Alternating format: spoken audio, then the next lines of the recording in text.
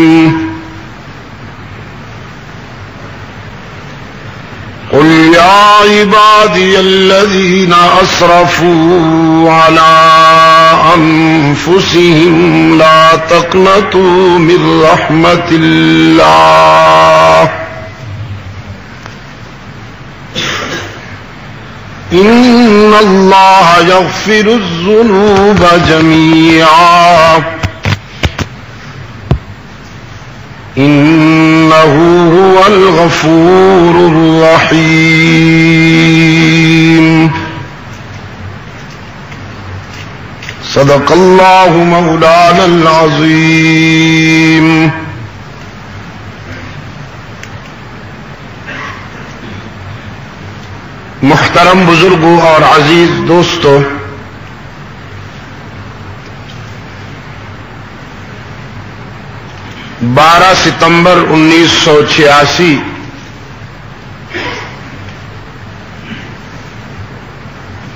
हम यहाँ मस्जिद दिलावर खान पिशावर में दावत व तबलीग की नस्बत से जमा हैं।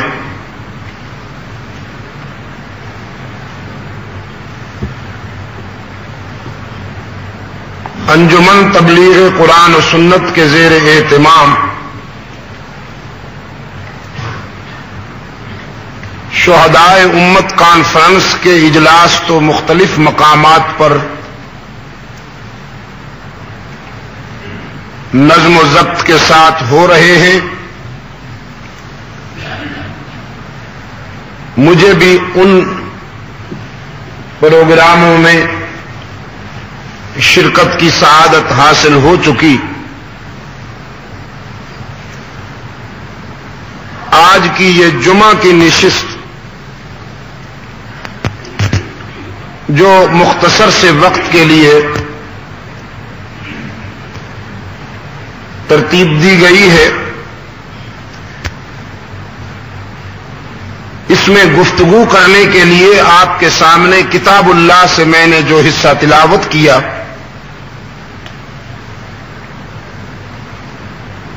हक ताला ने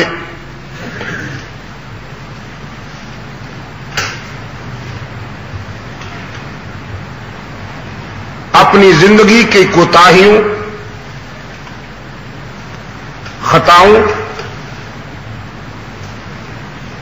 और मुख्तलिफ़ गुनाहों से मायूस इंसानों को अपनी रहमत का पैगाम दिया है और उनकी ढार्स बधाते हुए उनकी हौसला अफजाई की है।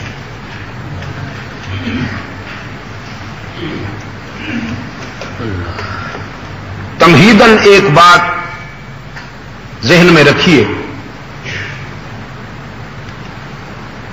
कि दुनिया का सिर्फ़ एक मज़हब है और वो इस्लाम है, जो इंसान को किसी सूरत में मायूस नहीं करता।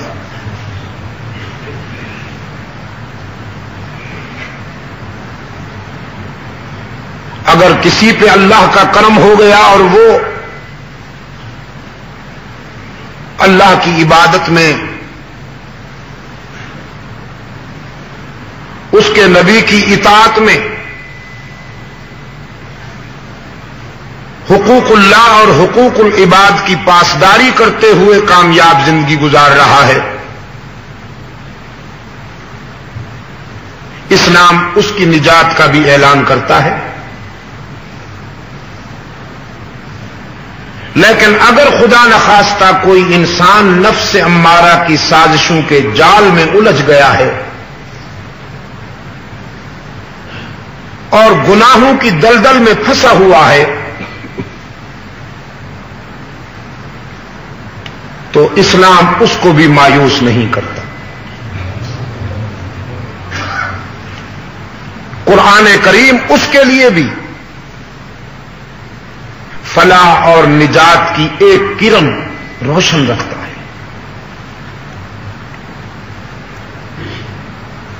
हज़रत वहशी रज़ी अल्लाह तहो जो कातिल है, सैयद शहदा हज़रत हमजा का।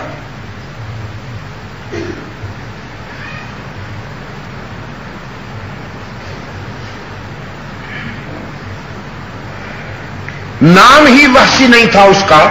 Wahshi bin Harb. काम भी वहशियाना थे।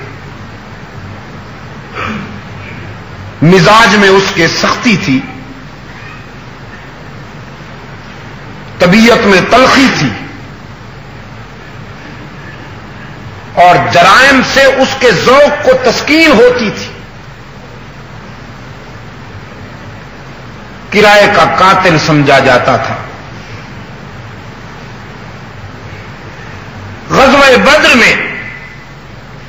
सनादीद मक्का के जो बड़े नामवर लोग मारे गए, उनका इंतकाम लेने के लिए मक्का वालों ने वहशी को खरीदा और उसको यह काम सौंपा कि तुम इस्लामी लश्कर के नामवर सिपाही हज़रत हमजा के टुकड़े टुकड़े कर दो।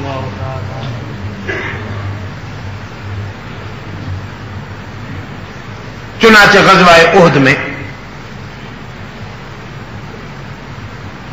वशी बिन हर्ब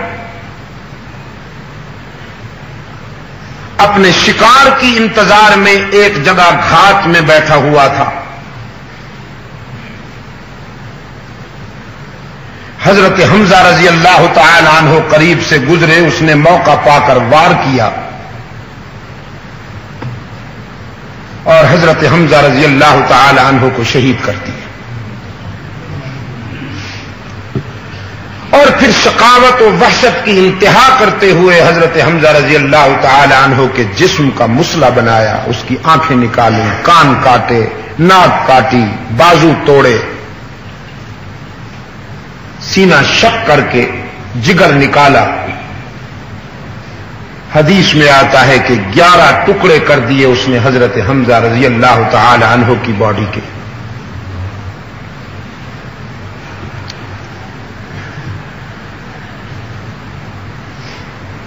सरकार दो आलम सल्लल्लाहु अलैहि वसल्लम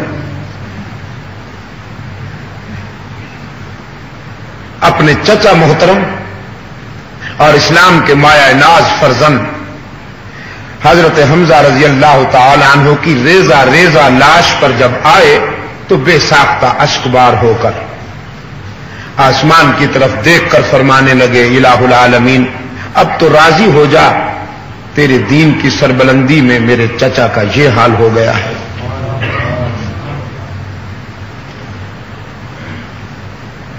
यह तो पैगंबर का जर्फ है। अल्लाह के रसूल सल्लल्लाहु अलैहि वसल्लम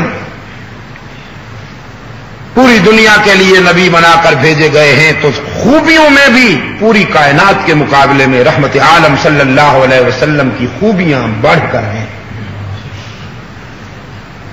शजात में, बुर्दबारी में, हौसले में, सब्र में, फिरासत में, इल्म में, तकवे में पूरी कायनात रहमत आलम सल्लल्लाहु अलैहि वसल्लम की इन खूबियों का मुकाबला नहीं कर सकती।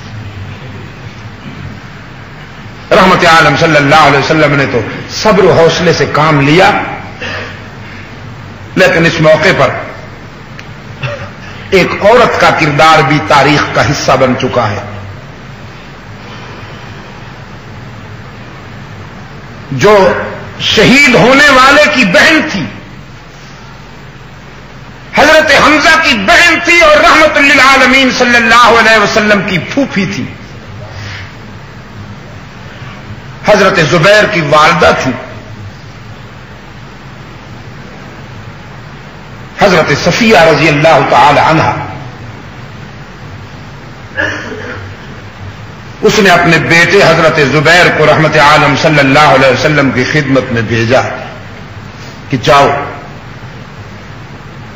और मेरी तरफ़ से अर्ज़ करो कि एक गमजदा बहन अपने भाई का आखिरी दीदार करना चाहती है।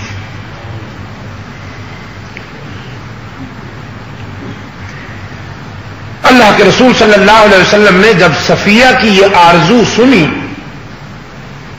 थोड़ी खामोशी के बाद फरमाने लगे, कोई बहन अपने भाई को इस हालत में देखकर बर्दाश्त नहीं कर सकती। अंदेशा है कि सफिया सब्र का दामन छोड़ न बैठे। इसलिए मैं मसलहतन सफिया को यहाँ आने की इजाज़त नहीं देता।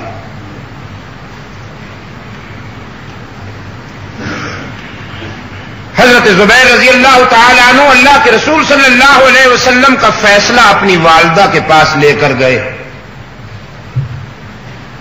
कि रहमत आलम सल्लल्लाहु अलैहि वसल्लम ने यह फरमाया है।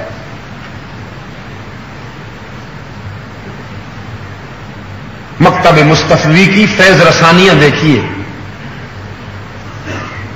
कि कैसे इंसान तैयार हुए। हज़रत सफिया रज़ी अल्लाह तहा कहने लगी, बेटा, एक मरतबा फिर चले जाओ और मेरे आका से कह दो, अगर आपका यही इर्शाद है तो कोई बात नहीं। हश्र में मिल लूँगी अपने भाई से।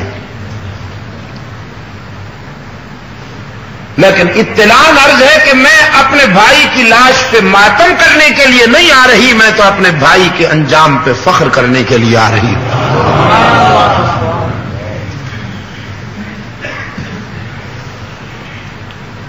भाई बड़ी अज़ीज़ शय है। लेकिन आपकी शरीयत के जबतों से ज़्यादा कोई चीज़ अज़ीज़ नहीं।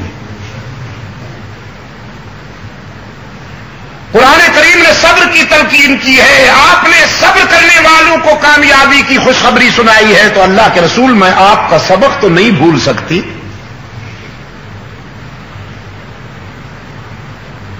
रहमत आलम सल्लल्लाहु अलैहि वसल्लम ने यह सुना।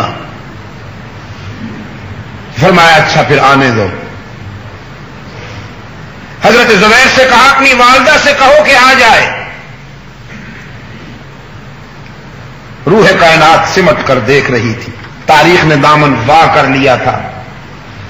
शायद अर्श वालों ने भी यह मंजर झुक झुक के देखा हो कि एक भाई की कटी हुई लाश पर एक बहन आ रही है। देखे रद्द अमल क्या होता है।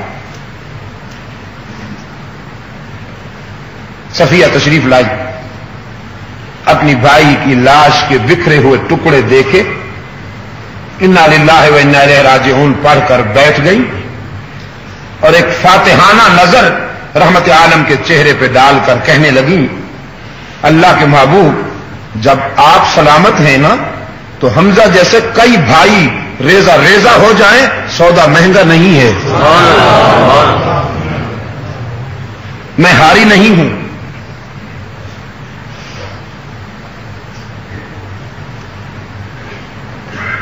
अज़ीज़ दोस्तों, ये एक बहन का रिएक्शन था।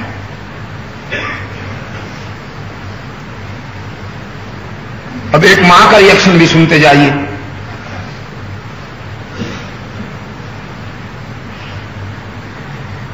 इसी जुबैर के फर्जंद हज़रत अब्दुल्ला रज़ी अल्लाह तहुमा को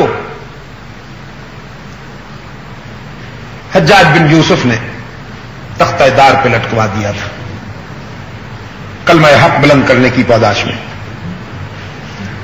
और जालिम ने हुक्म दिया कि लाश सूली पर रहने दी जाए, ताकि लोग इबरत हासिल करें। तख्तादार पे लाश लटक रही थी। देखने वाले देखकर गुजर रहे थे। हज़रत अब्दुल्ला इबन जुबैर रज़ी अल्लाह तु की माँ, हज़रत असमा रज़ी अल्लाह तहा को पता चला तो अपने बेटे की लाश को देखने के लिए आई। हज़ारों लोग इस खातून के साथ चलते हुए यहाँ पहुँचे कि एक बेटे की मजलूमियत देखकर माँ का रद्द अमल क्या होता है? अपने लख्त जिगर को तख्तादार पे लटकता देखकर एक माँ का रिएक्शन क्या होता है?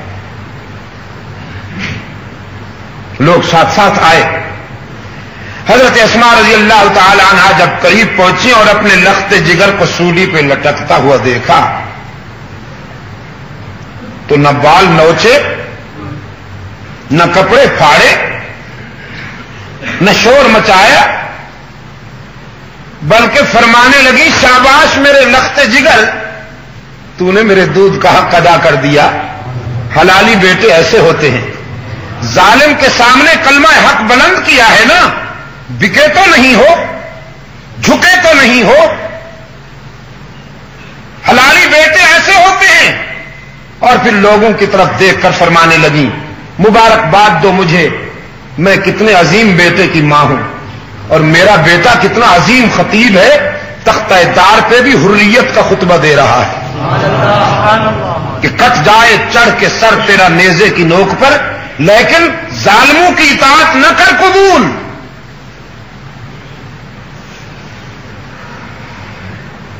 हज़रत हमजा रज़ी अल्लाह तु को अल्लाह के रसूल सल्लल्लाहु अलैहि वसल्लम ने सैयदुशहदा का खिताब मरहमत फरमाया। और अल्लाह के रसूल सल्लल्लाहु अलैहि वसल्लम के इस इरशाद के मुताबिक इस्लामी शहीदों के सैयद हज़रत हमजा ही हैं। रज़ी अल्लाह तु बावजूद इसके कि मर्तबा और फजीलत के लिहाज से हज़रत उमर रज़ी अल्लाह तु का मकाम बहुत बुलंद है। क्योंकि हज़रत उमर रज़ी अल्लाह तु खुलफाए राशिदीन में से हैं। अशरा मुबशरा में से हैं। अल्लाह के रसूल की मुराद और मतलूब हैं। लेकिन वो भी शहीद हैं। सैयद शहदा हम उनको भी नहीं कहते। हज़रत उस्मान इबन अफान रज़ी अल्लाह तु अपनी मजलूमियत के लिहाज से अंबिया के बाद पूरी इंसानी तारीख में मजलूमियत में कोई मिसाल नहीं रखते। किसी पे तीन दिन पानी बंद, बकौल रावी किसी पे दस दिन पानी बंद। लेकिन उस्मान पर सबाई मुनाफिकीन ने चालीस दिन पानी बंद किया। तिलावत कला में पाक करते हुए इस दुनिया से चले गए जालिम कातलू ने सीने पे जब लोहे के सरिये मारे हैं और हज़रत उस्मान रज़ी अल्लाह तु जख्मों से घायल होकर जब गिरे हैं तो कुरान ने दामन खोल लिया और उस्मान को अपनी आगोश में ले लिया। मैं इसी हवाले से कहा करता हूँ कि इंसानी तारीख में यह मुनफरिद मकाम है हज़रत उस्मान रज़ी अल्लाह तु का, कि अल्लाह की अदालत में हश्र के मैदान में किसी शहीद की शहादत की गवाही तीर देगा। किसी शहादत, किसी शहीद की शहादत की गवाही रेत के जरे देंगे। किसी शहीद की शहादत की गवाही तलवार देगी नेजे की अनी देगी कमान देगी। उस्मान वो मुनफरिद शहीद है कि इसकी शहादत की गवाही के लिए अल्लाह का कुरान बोलेगा। लेकिन हम उस्मान को भी सैयद शहादा नहीं कहते। नहीं कहते।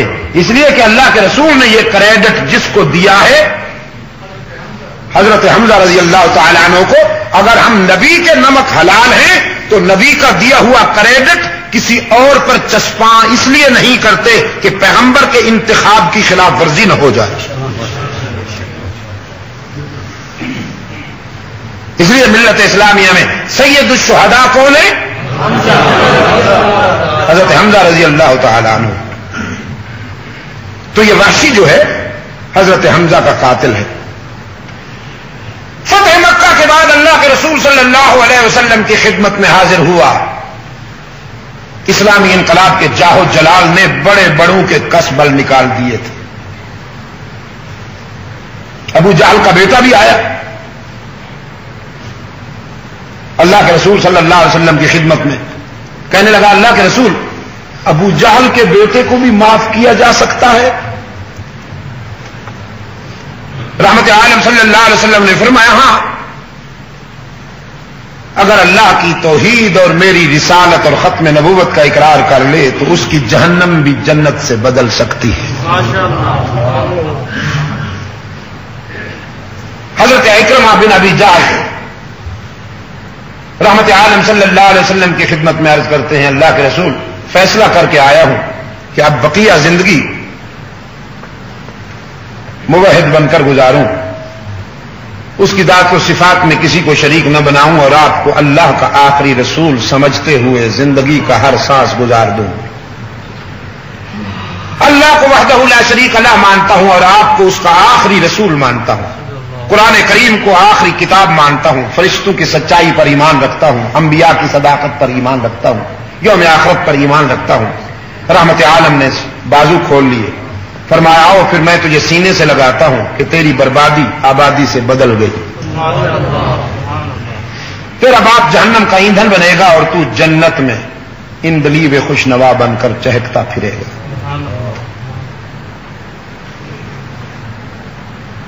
और फिर यही इक्रमा था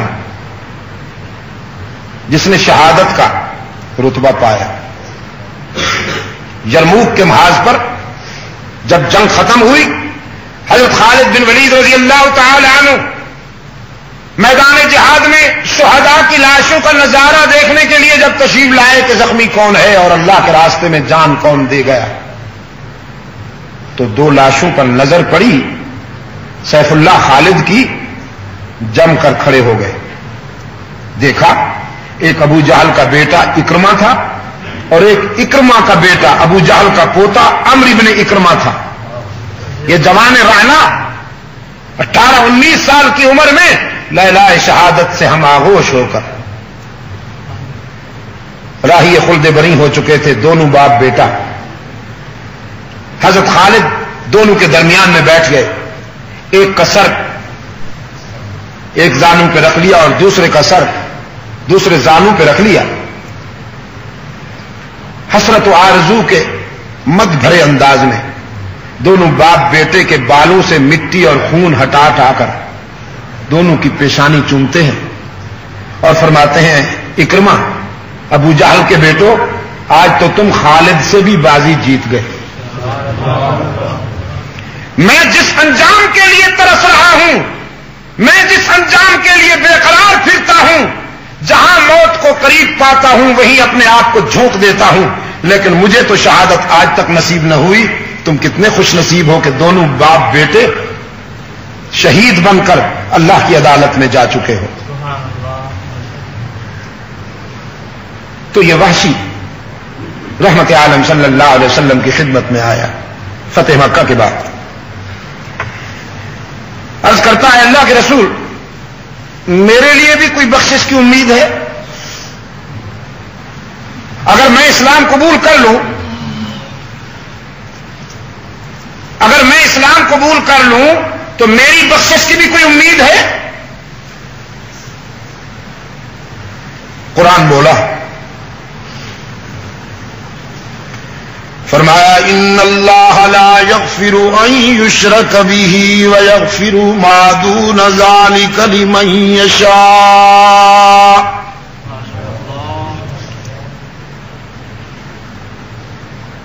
जो शख्स हल्का इस्लाम में आ जाता है। तो फिर एक जुर्म है, अगर उससे सरजद हो गया तो कभी माफ़ नहीं किया जा सकता। बाकी सारे जराइम माफ़ हो सकते हैं। और वो जुर्म है शिरक। भी वाला जुर्म। कौन सा? भी वाला। कुरान चाहता है तुम ही वाले बन जाओ। और शैतान चाहता है तुम कुरान तो नमाज़ की हर रकत में आपसे कहलवाता है इया का नाबुदू व इया का नस्ताइन हम तेरी ही इबादत करते हैं और अल्हम्दुलिल्लाह अल्हम्दुलिल्लाह। हम तेरी ही इबादत करते हैं और करते रहेंगे। मस्जिद के अंदर भी, मस्जिद के बाहर भी, तू ही हमारा माबूद। तेरे सिवा हम किसी को माबूद नहीं मानते। तू ही हमारा मसजूद। तू ही या तू भी? यही फ़र्क था। यही फ़र्क है और यही फ़र्क रहेगा। यकजाइयों में और हर जाइयों में मुजाहिदों में और मुजावरों में शैदाइयों में और हलवाइयों में यही फ़र्क रहेगा। शैदाई ही वाले, हलवाई भी वाले शैदाई कहते हैं, हमारी जबीन की आजजी के लिए सच्चा मसजूद। अल्लाह ही। और हलवाई कहते हैं, अल्लाह भी, उसके बंदे भी, उसके नबी भी, उसके रसूल भी। शैदाई कहते हैं, यकजाई कहते हैं, हर जगह मौजूद। और हर जाई कहते हैं, हर जगह मौजूद।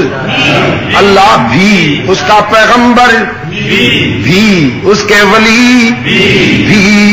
शैदाई कहते हैं अल्लाह मुलगयूब अल्लाह ही और हलवाई कहते हैं, यही फ़र्क था। यही फ़र्क है और यही फ़र्क रहेगा। अगर ही में किसी ने वफा ना की अगर ही में किसी ने ठोकर खाई शिरक कर लिया कुरान कहता है ला यगफिरु युश्र कभी ही व यगफिरु मादून जाली कली मैशा मुशरक के लिए निजात दरवाजे बंद कर दिए गए हैं। उसे ना नबी की शफात बचा सकती है, ना अल्लाह की रहमत काम आएगी। मुशरक को माफ़ नहीं किया जाएगा, बाकी सारे जुर्म माफ़ कर सकता है वो मुख्तार कुल। वासी कहने लगा, अल्लाह के रसूल, मैंने सुना है कुरान में ये आयत भी आई है, मन का तला मिन कुम मुमिनम मुतामिदा फजजाऊ जहन्नमा खालिदीन फीहा. तुम में से जिस शख्स ने किसी मोमिन को कत्ल कर दिया हो, उसकी निजात नहीं होगी। और मैं तो मोमिन का कातिल नहीं हूँ, मोमिन आज़म का कातिल हूँ। मेरे हाथों से तो हमजा जैसा मोमिन रेजा रेजा हो गया। तो फिर मेरी निजात कैसे होगी? साहिब कुरान ने फरमाया, आगे भी तो पढ़ो ना। कुरान करीम ने आगे भी कुछ कहा है, वो भी पढ़ो, इल्ला मन ताबा। व आमना व अमिला अमलन सालिहा फउलाइक युबद्दिलुल्लाहु सय्यातिहिम हसनात वकान अल्लाह गफूर रहीमा मगर वो मगर वो कि जो शर्मिंदा होकर रोता हुआ अल्लाह के दर पे आ जाए,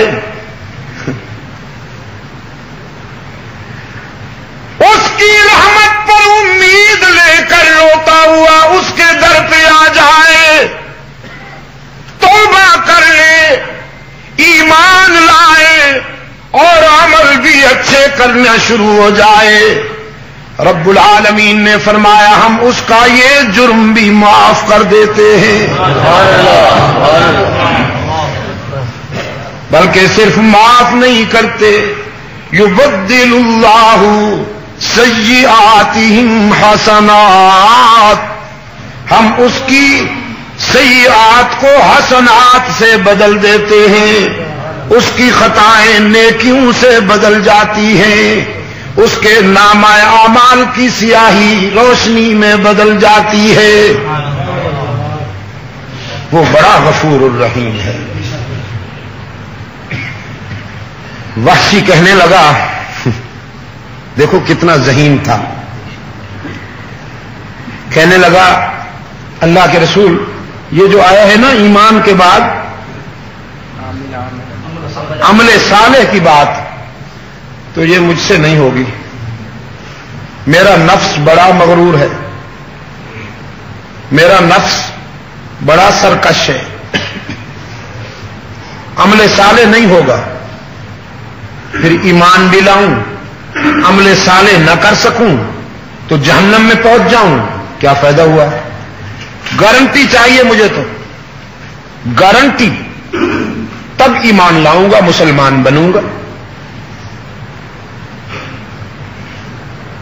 तो कुरान करीम की ये ऐत नाजिल हुई, जो अभी अभी मैंने आपके सामने पढ़ी। फरमाया अल्लजीन असरफू अला अनफुसिहिम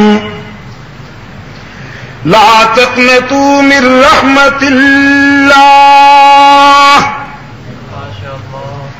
इन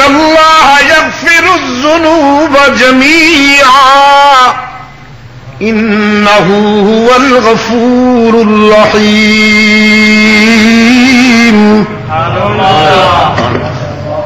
मेरे पैंबर फरमा दीजिए मेरे खताकार और गुनाहगार बंदों को,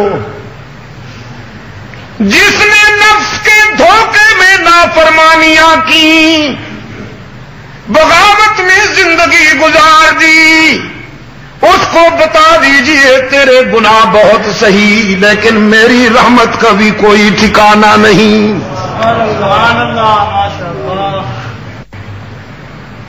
तुम्हें अल्लाह की रहमत से मायूस नहीं होना चाहिए। नब्बी इबादी अन्नी अनल गफूर रहीम। मेरे खताकार बंदू को कह दो, अगर तुम्हारी ठोकरें बहुत हैं तो मेरी रहमत का भी कोई ठिकाना नहीं। मैं यमल सुआ औ यजलिम नफसा, सुम्मा यस्तगफिरिल्लाह, यजिदिल्लाह गफूर रहीमा जिसने पूरी ज़िंदगी खताओं में गुजार दी हो। लेकिन फिर एहसास नदामत में जब रोता हुआ मेरे दर पे आएगा तो मुझे गजबनाक नहीं पाएगा, मेहरबान पाएगा। बैतुल्लाह के जो गिलाफ रखा होता है उस गिलाफ पे भी ये आयत मोटे मोटे हरूफ के साथ लिखी हुई है। मैयामल औ यजलिम नफसा सुम्म यस्तगफिरिल्लाह यजिदिल्लाह गफूर रहीमा। जिसने बहुत खताएँ की हूँ लेकिन शर्मिंदा होकर जब मेरे दर पे आएगा तो मुझे रूठा हुआ नहीं पाएगा, शफीक पाएगा। किसी बाप का नाफरमान इकलौता बेटा जो बागी होकर निकल जाए, अरसा बाद लौट कर आए, पिदरी मोहब्बत में जुदाई की जरबे सहने वाला बाप अपने नाफरमान बेटे को इतना जल्दी माफ़ नहीं करता जितना गुनागार को रब्बुल आलमीन जल्दी माफ़ कर देते हैं। रहमत आलम सल्लल्लाहु अलैहि वसल्लम ने फरमाया, जब सारी कायनात सो जाती है और रात का सन्नाटा कुर्राए अर्ज़ पर हुक्मरानी करता है जब सारी दुनिया की अदालतें बंद हो जाती हैं तो उसकी रहमत का दरवाज़ा खुल जाता है। और वहाँ से पुकार होती है, हल मुस्तफिल है कोई आँसू बहाने वाला, मैं अपने दामने रहमत से पूछ लूँ? है कोई मुझसे मांगने वाला, मैं उसका दामन भर दूँ? है कोई ना मुराद उसकी मुरादें पूरी कर दूँ? है कोई जयीफ उसे तवानाई दे दूँ? है कोई बे औलाद उसे औलाद अता कर दूँ? है कोई बेआबरू उसे इज़्ज़त अता कर दूँ? सारी रात पुकार होती है। और पिशावर के रोशन जमीरों, पुकार भी उन्हीं को होती है ना जो सो रहे हूँ। गिलानी जैसे आबदीन शब जिंदादार तो पहले भी अल्लाह के दर पे झुके हुए होते हैं। सैयद अब्दुल कादिर गिलानी जैसे, कुतुबुद्दीन जैसे मुजद्द अल्फेसानी जैसे, मोइनुद्दीन चिश्ती जैसे, महमूद हसन देवबंदी जैसे, रशीद अहमद गंगोही जैसे, इस्माइल शहीद जैसे। ये तो पहले भी अल्लाह के दर पे रो रहे होते हैं। उनको पुकारा जाता है जो गफलत की चादर तान कर सो रहे होते हैं। उन्हें दावत दी जाती है, बाज आ बाज आ। हर आचे हस्ती, बाज आ। गर काफिरो, गबरो, बुत परस्ती, बाज आप ई दरगह माँ, दरगह नौमीदी नीस सदबार अगर तो बशिकस्ती बाज आ। ओ खताकार, ओ गुनागार अगर सौ मरतबा तोबा करके तोड़ दी है, निभा नहीं सका तो एक बार फिर मेरे दर पे आके देख जबीले नियाज झुका के देख, तलब का दामन फैला के देख, नदामत के अश्क बहा के देख। मेरे लुत्फ करम को आजमा के देख। तेरे आने में देर है, मेरे राज़ी होने में देर नहीं होगी। बाकी जहाँ जाओगे, पिशावर वालों लूटे जाओगे।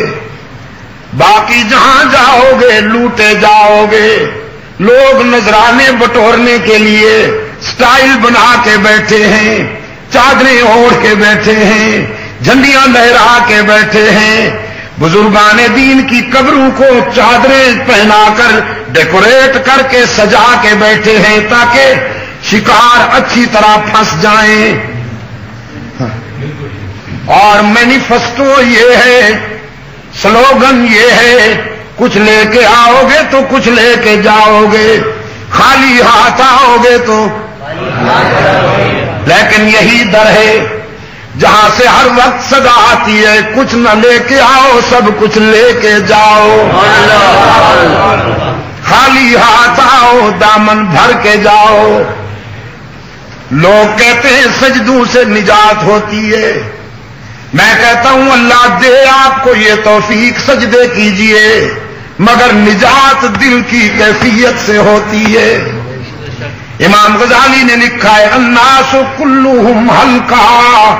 इल्लालिमून वलालिमून कुल्लुहुम हल्का इल्लामिलून वलामिलून कुल्लुहुम हल्का इल्लल मुखलिसून वल मुखलिसून अला खतर नाजीम लोग खतरे में हैं मगर उनमें आलिम बच जाएँगे फिर आलिम खतरे में हैं अपने इल्म पर अमल करने वाले बच जाएँगे। फिर अमल करने वाले भी खतरे में हैं। इखलास वाले बच जाएँगे। इखलास वाले भी शदीद खतरे में हैं। कदम कदम पे नफ्स धोखे देगा। तुम बड़े नेक हो। जन्नत तो तुम्हारे लिए सजी हुई है। बाकी सारे जहन्नमी हैं। बस तुम जन्नत में जाओगे। ये ख्याल आया और सब कुछ खत्म। बाबा सादी रहमतुल्लाह अलैह ने बाज बातें बड़ी फ़िक्र अंगेज लिखी हैं। फरमाते हैं, एक सूफी को यह जोम था कि मैं बड़ा नेक हूँ। इबादत भी बहुत करता था, रात भर क्याम में और ज़िक्र में गुजार देता था। लेकिन सुबह उठता था तो लोगों से कहता था बदबख्तो, सारी रात सोए रहते हो।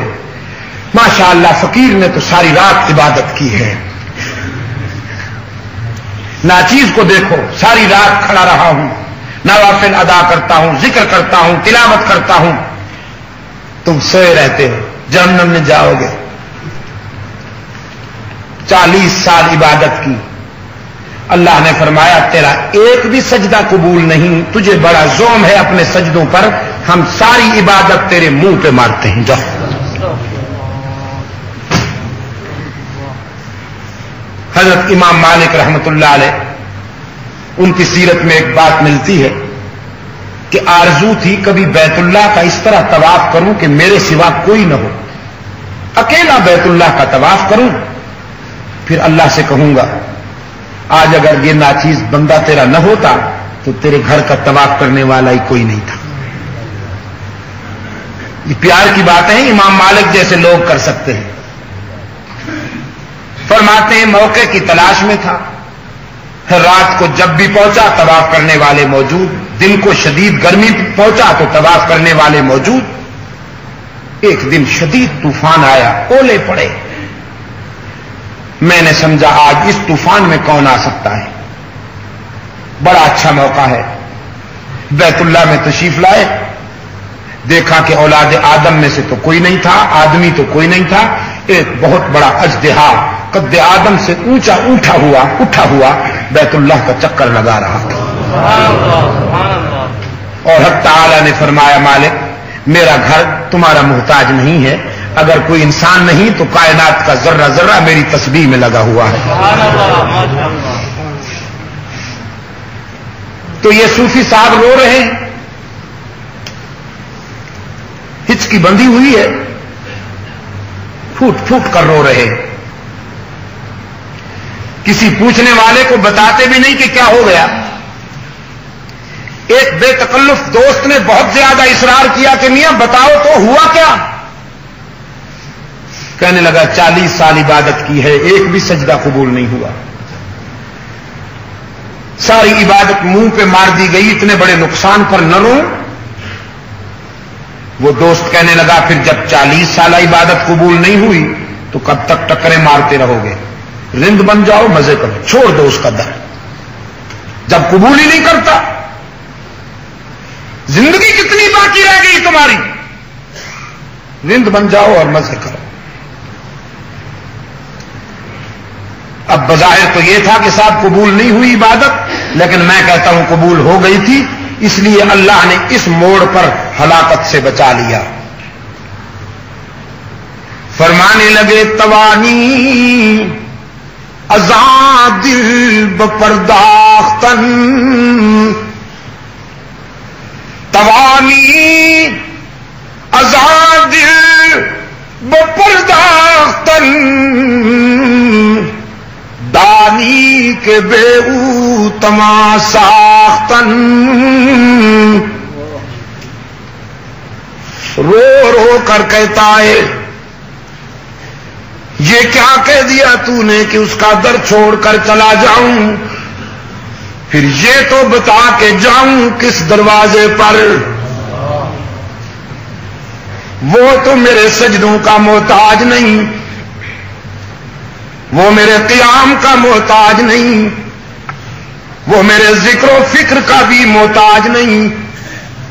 उसे मेरी इबादत की ज़रूरत नहीं। ज़रूरत तो मुझे उसकी इनायत की है। अगर उसका दर छोड़ जाऊँ तो कहाँ जाऊँ? उसके लिए तो तस्बीह करने वाले भी बहुत हैं। कायनात का एक एक जर्रा उसकी तस्वीर में लगा हुआ है। बवक्त सुहूर आँसू बहाने वालों की भी कमी नहीं। दामन फैलाने वालों की भी कमी नहीं। सजदे करने वालों की भी कमी नहीं। लेकिन मुझे तो कोई दर बता। नहीं, ऐसा नहीं होगा। ये महबूब ही ऐसा है कि खुश हो या नाराज़, लेकिन इसका दर नहीं छोड़ा जा सकता। सारा दिन रोता रहा। रात आई। फिर आँसू की बरसात में अल्लाह के दर पे झुक गया और कहता है तंग दस्ती के जो आलम में मैं घबराता हूँ। पर दरे गैर पे जाते हुए शर्माता हूँ। हाथ फैलाने में मोहताज को गैरत के गुलामीन जब तेरा हूँ तो फिर तेरा दर छोड़कर कहाँ जाऊँ? कबूल करे या ना करे मेरे सजदे तेरी मर्ज़ी, लेकिन यहीं पड़ा रहूँगा। यहीं रोता रहूँगा, यहीं दामन फैलाऊँगा, यहीं दिल की बात कहूँगा। मेरी आरजुएँ तेरे सिवा किसी से वाबस्ता नहीं। तू कबूल करे या ठुकरा दे, लेकिन तेरा दर छोड़कर कहीं जाने वाला नहीं। अल्लाह की रहमत भी जोश में आ गई। फरमाया, कबूलस्त, गर्चे हुनर नीस्तत कबूलस्त गर्चे हुनर नीस्तत के जुजमा पनाहे दिगर नीस्तत। आज हमने तेरा ये सजदा भी कबूल कर लिया और सबका चालीस साल इबादत भी कबूल कर ली, चालीस साल सजदे भी कबूल कर लिए इसलिए कि जब हमने तेरे मुँह से ये सुना कि हमारे सिवा तेरा कोई डर नहीं। तो फिर हमें भी हया आ गई कि हम तुझे क्यों तनहा छोड़ दे। मगर कोई आए तो सही इस दर पे। अश्क तो बहाए, जरा आँसू तो बहाए। जरा जरा से नुकसान पर हम रो देते हैं। माली नुकसान पर रो देते हैं, आली नुकसान पर रो देते हैं।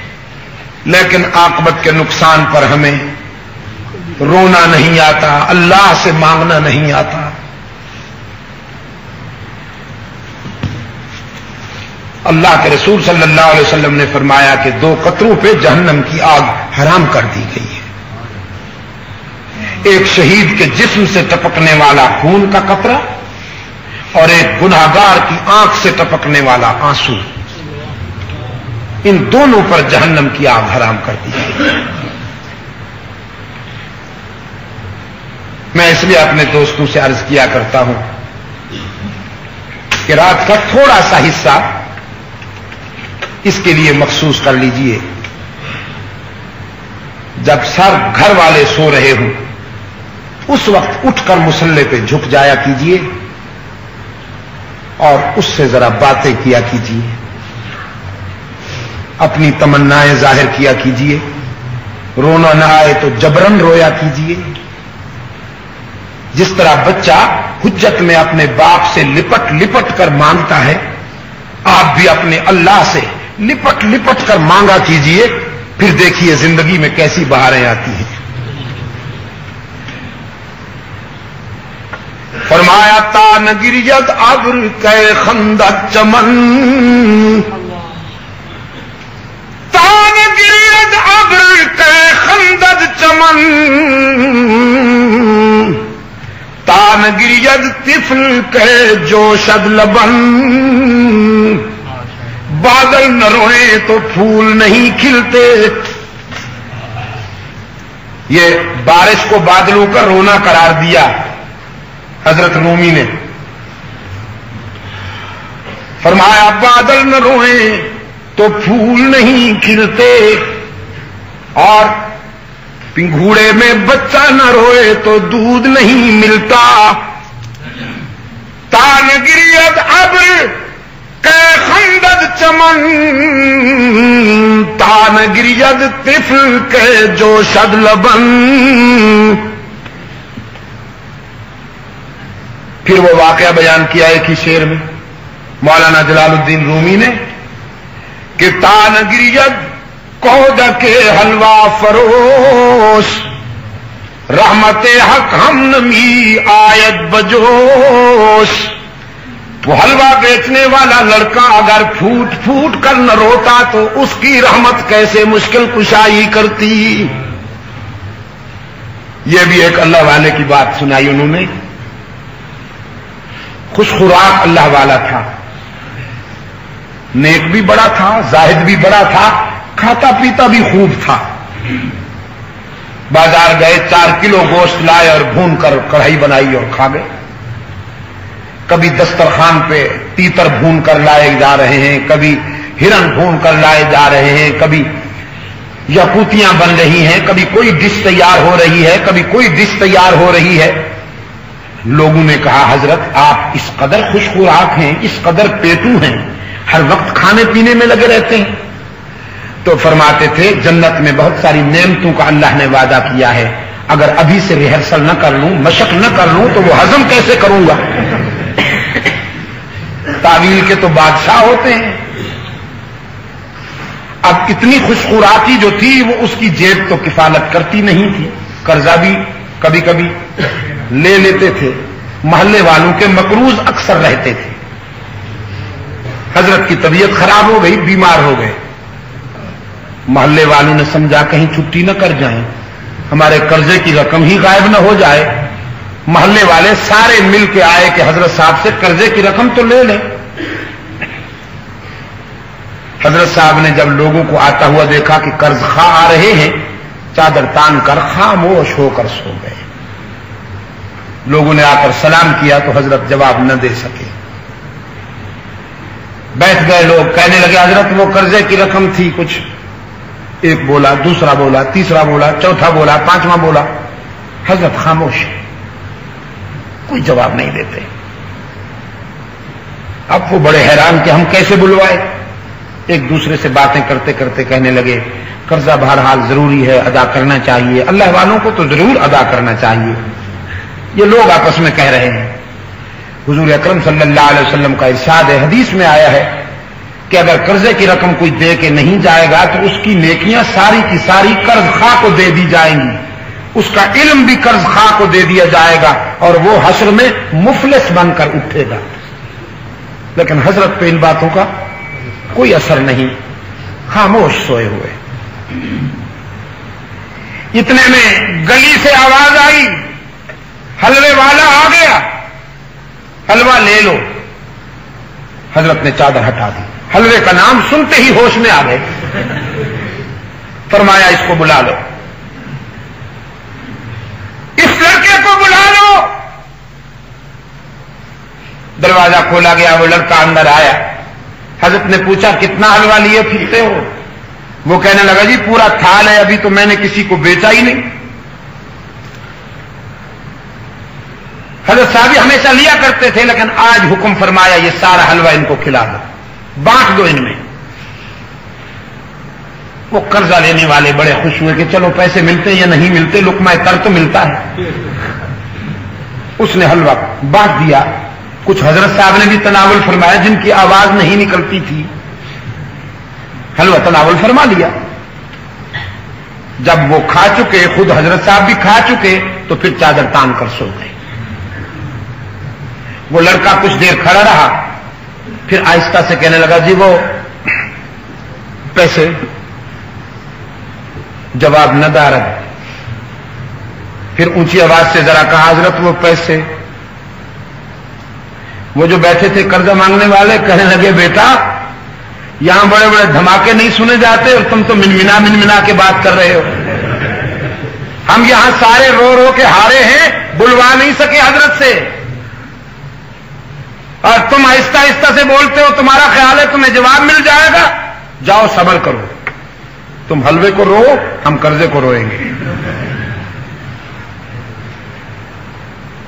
लड़के ने एक मरतबा कहा, दो मरतबा कहा, तीन मरतबा कहा, चार, पाँच मरतबा कहा। फिर रोने लगा, मुझे माँ मारेगी, मुझे बाप मारेगा। मैं यही हलवा बेचता हूँ, हमारी दाल रोटी बनती है। शाम को पैसे ले जाता हूँ घर में। आज जब खाली जाऊँगा तो मार पड़ेगी मुझे। रोना शुरू हो गया, बच्चा था। पहले सिसकियाँ, फिर आहें, फिर चीखें, फिर धारें सच्चे दिल से फूट फूट कर वो लड़का रो रहा है। हज़रत साहब सोए हुए। किसी ने दस्तक दी। दरवाज़ा खोला गया तो एक शख्स रुपयों से भरा हुआ ट्रे लेकर खड़ा हुआ है। आके कहने लगा, हज़रत, ये कबूल फरमाइए। हदिया लाया हूँ आपके लिए। आप जहाँ चाहें इसे खर्च कर दें। ये आपके लिए हज़रत उठे, रुपयों का ट्रे लिया, कर्जे वालों को कर्जा अदा किया, उस लड़के को हलवे के पैसे दिए और खुश खुरम बैठ गए। जो बच गए थे, वो अपनी जेब में डाल लिए। कर्जा लेने वाले कहने लगे, हज़रत, यही बटन पहले दबा लिया होता। न हम रोते, न ये रोता। इतनी बेकरारी के बाद आपने ये आदमी को बुलाया है, पहले ही बुला लेना था। फरमाने लगे, मेरे इख्तियार में होता तो मैं पहले ही बुला लेता। मैंने नहीं बुलाया है। असल बात यह है कि तुम जब कर्जा मांगने के लिए मेरे पास आए तो जेब में तो मेरे था कुछ नहीं। और अल्लाह से मांगने का सलीका ना मुझे आता था, न तुम्हें आता था। मैंने तुम में से देखा कि कोई रोने वाला है लेकिन तुम तो एक से एक बढ़कर खुराक नज़र आ रहे थे। मुझे रोने वाला कोई नज़र नहीं आया। तो फिर जब मैंने इस बच्चे की आवाज़ सुनी तो फिर मैंने यही तरकीब सोची कि इससे हलवा ले लिया जाए। जब पैसे नहीं मिलेंगे तो ये रोएगा। इसके रोने पे अल्लाह की रहमत जोश में आएगी तो हमारी मुश्किल हल हो जाएगी। इस बच्चे के रोने की वजह से उसकी रहमत जोश में आई है। मेरी मुश्किल भी हल कर दी है उसने और तुम्हारी मुश्किल भी अल्लाह ने हल फरमा दी है। कभी रोने वाले के आँसू रायगा नहीं जाते पिशावर के रोशन जमीर हो अल्लाह के दर पे कभी रो के तो देखो। फरमाया कुलिया इबादी अल्लजीना असरफू अला ला तकनतू मिन रहमतिल्लाह। इन्नल्लाह यगफिरुज़्ज़ुनूब जमीआ इन्नहू हुवल गफूरुर रहीम। अब हज़रत वैसी ईमान लाए। रज़ी अल्लाह तन हो बन गए। ईमान लाए। रहमतुल्लामीन सल्लल्लाहु अलैहि वसल्लम ने फरमाया वासी तुझे मुबारक हो, तेरी जहन्नम जन्नत से बदल गई। लेकिन एक मेहरबानी किया कर, मेरे सामने जरा कम आया कर, मेरे सामने जरा कम आया कर। इसलिए कि जब तुझे देखता हूँ तो मुझे चचा हमजा की लाश के टुकड़े याद आ जाते हैं। रोता हुआ हम वहसी चला गया। और रात के अंधेरे में आँसू की बरसात में दुआ किया करते थे वैसी। इलाहुल आलमीन, ऐसा कर्म कर, मैंने तेरे नामवर दोस्त को कत्ल किया था, अब कोई अपना नामवर दुश्मन भी मेरे हाथों से जहन्नम रसीद करा दे, ताकि बैलेंस बराबर हो जाए। सिद्दीक अकबर रज़ी अल्लाह तला की खिलाफत में पहली खिलाफत रास्ता के दौर में, जब ये उम्मत मुनकरीन खत्म नबूवत के खिलाफ जिहाद कर रही थी तो वहशी भी उसमें शामिल था। मुसलमा कज्जाब के खिलाफ जिहाद में वैसी भी आया। सुबह मैदान गर्म होना था, सारी रात वैसी रोता रहा इलामीन कोई अपना नामवर दुश्मन मेरे हाथों से कत्ल करवा दे। सुबह हुई। मुजाहिदीन इस्लाम मैदान में उतरे। मुनकरीन खत्म नबुवत का मुकाबला शुरू हुआ। एक कोने से आवाज़ आई। लोगों, मुझे मुबारकबाद दो, अल्लाह ने मेरी दुआ कबूल कर ली है। लोगों ने पलट के देखा तो हज़रत वैसी रज़ी अल्लाह तनो मुसलमा कज्जाब के सीने पे पाँव रख के खड़े हैं और उसका सरम सरकलम करके नेजे की अमी पर उठा रखा है। और फिर वो सर फेंक कर सजदे में चला गया। हज़रत वैसी फूट फूट कर रोया और कहने लगा, इलाहुल आलमीन, किस ज़ुबान से तेरा शुक्र अदा करूँ कि मैंने जो कुछ मांगा था तूने अदा अता कर दिया है? 何子们，我。